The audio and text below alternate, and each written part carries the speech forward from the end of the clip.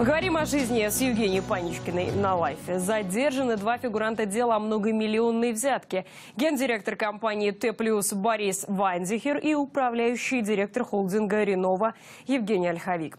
Следователи теперь намерены добиваться заключения этих господ под стражу. Сегодня дочернюю фирму российской частной бизнес-группы под названием Т+, обыскали, Евгения Ольховика допросили. Кроме того, в причастности к делу о взятках заподозрили главу Вымпелкома Михаила Слободина.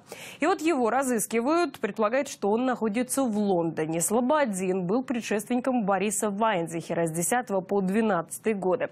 И он же был директором КС Холдинга. Вот теперь эта компания и называется Т+. Итак, напомню, подконтрольную олигарху Виксельбергу компанию обвиняют в том, что ее топ-менеджеры дали крупную взятку чиновникам Республики Коми. Больше восьми сотен миллионов рублей. Деньги передали, конечно, не за просто так. Подконтрольная структура Виксельберга в Иркутинская ТЭЦ оказалась не готова к топ-сезону. И в морозы до минус 40 грозила оставить местных жителей без тепла. И вот теперь следователи предполагают, одна из нитей этого мошеннического клубка ведет к истории с Вячеславом Гайзером.